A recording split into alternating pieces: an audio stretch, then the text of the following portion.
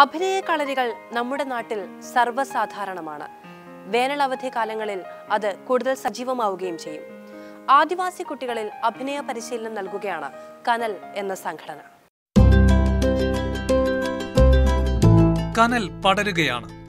അരങ്ങിലാടേണ്ടവന്റെ മനസ്സിലേക്ക്.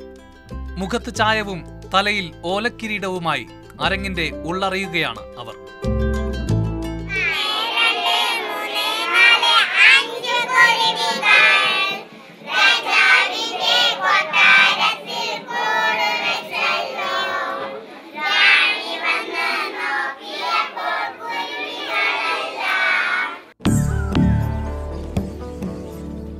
അട്ടപ്പാടി മേഖലയിലെ ആദിവാസി ഗോത്ര വിഭാഗങ്ങളിൽപ്പെട്ട കുട്ടികൾക്ക് വേണ്ടിയാണ് കനലിന്റെ പ്രവർത്തകർ അഭിനയക്കളരി നടത്തിയത്.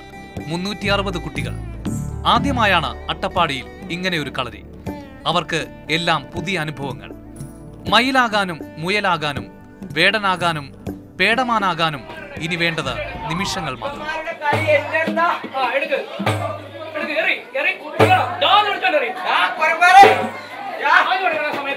എനിക്ക് ആദ്യം വന്നപ്പോൾ പേടിയൊക്കെ ഉണ്ടായിരുന്നു ഈ നാടകം കണ്ടപ്പോൾ പിന്നെ നാടകം എന്ന് പറഞ്ഞപ്പോൾ എനിക്ക് ഇവർ പ്രാക്ടീസ് ഒക്കെ തന്നപ്പോൾ ഭയങ്കര ഇഷ്ടമായി.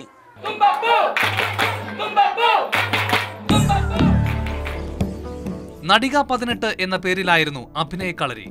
അഭിനയം മാത്രമല്ല സംവിധാനം രചന എന്നീ മേഖലകളിലും കുട്ടികൾക്ക് പരിശീലനം നൽകി.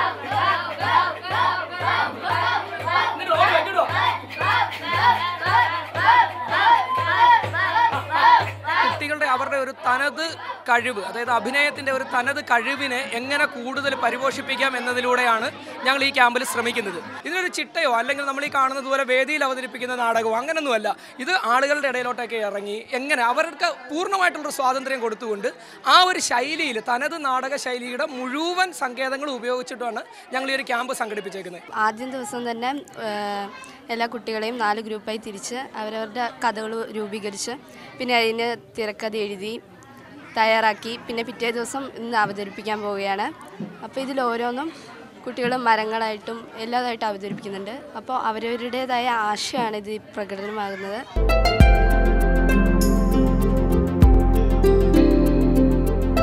Kudumbashree M R L M എന്നിവയുടെ സഹകരണത്തോടെയാണ് കനൽ പരിപാടി ആവിഷ്കരിച്ചത്.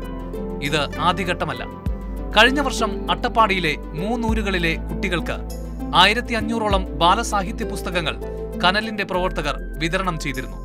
അതിന്റെ റിവ്യൂ എന്ന നിലയിൽ കൂടിയായിരുന്നു ഈ അഭിനയ കളരി. കുട്ടികളുടെ അവരുടെ ഭാഷയെ ഭാഷയിലേക്ക് അടുപ്പിക്കുക എന്നതാണ് നമ്മൾ ഈ പ്രോഗ്രാമിലൂടെ കൂടുതൽ ലക്ഷ്യം വെക്കുന്നത്. അവരുടെ സംസ്കാരം അവരുടെ ഭാഷ അവരുടേതായ രീതിയിൽ അവരെ കാടറിഞ്ഞു പഠിക്കുക അതിനു വേണ്ടിയിട്ടുള്ള ഒരു പ്രവർത്തനം കൂടിയാണിത് ഒരുപക്ഷെ അട്ടപ്പാടിയിൽ ആദ്യമായിട്ടാണ് ഇങ്ങനെ ഒരു പ്രവർത്തനം ഇങ്ങനെ ഒരു നാടക കളരി നടത്തുന്നത്. കളരി അവസാനിക്കുന്നതിന് മുൻപായി അവർ തന്നെ രചനയും സംവിധാനവും നിർവഹിച്ച നാടകവും അരങ്ങിലെത്തി.